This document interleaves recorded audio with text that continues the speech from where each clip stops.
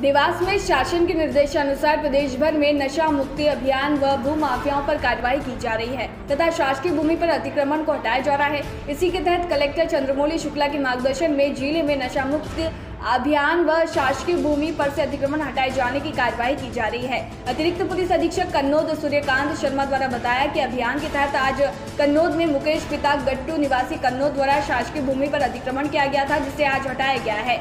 उन्होंने बताया कि अतिक्रमणकारी ने शासकीय भूमि पर ज़ीरो दशमलव सात हज़ार चार सौ नब्बे हेक्टेयर के पैकी रकबा सोलह सौ वर्ग फीट पर अतिक्रमण कर आधा पक्का मकान व ढाबा बनाकर अतिक्रमण कर लिया गया था, जिस पर आज प्रशासन, पुलिस बल एवं नगर परिषद द्वारा जैसे बुलडोजर चलाकर हटाया गया, उन्होंने बताया कि इस प्रकार की कार्यवाही लगातार जारी रहेगी।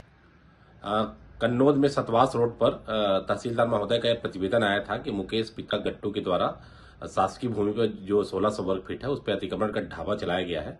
इसकी तस्दीक कराई तो ये अवैध दारू भी बेचता था और इसके भाई राकेश संदीप और इसके पिता गट्टू के खिलाफ कन्नौज थाने में कई चोरी के, मारपीट के और आम सीट के प्रकरण भी पंजीबद्ध है।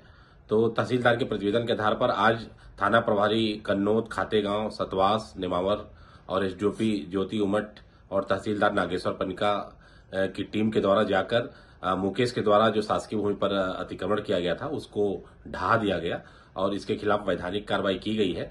पुलिस अधीक्षक डॉक्टर शिवदयाल के मार्गदर्शन में माफिया अभियान के तहत यह कार्रवाई लगातार जारी रहेगी। देवास से अभिषेक सोनी की रिपोर्ट।